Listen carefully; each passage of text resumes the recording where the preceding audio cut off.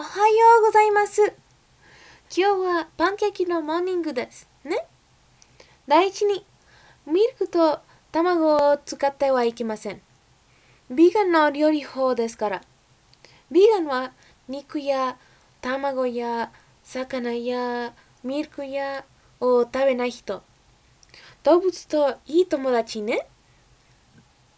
パンケーキを使いに粉と銅とベーキングパウダーと少しの塩と少しのシナモンと豆乳とバナナと少しのバニラがいります。ねえ、始めましょう乾いているの材料を混ぜてください。乾いているの材料は粉と銅とベーキングパウダーと塩とシナモンです。バナナを半分に切って押しぶつしてください。そして別のボウルで残りの材料を混ぜてください。今全部を混ぜてもいいです。温かいまでパンを温めて焦げるパンケーキががいりませんね。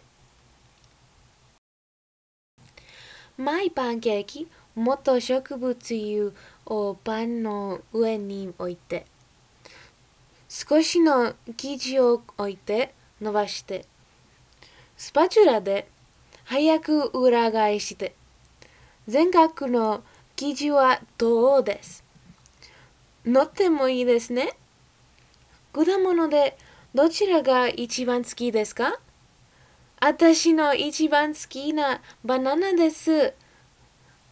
飾りに残りのバナナを使ってもいいです。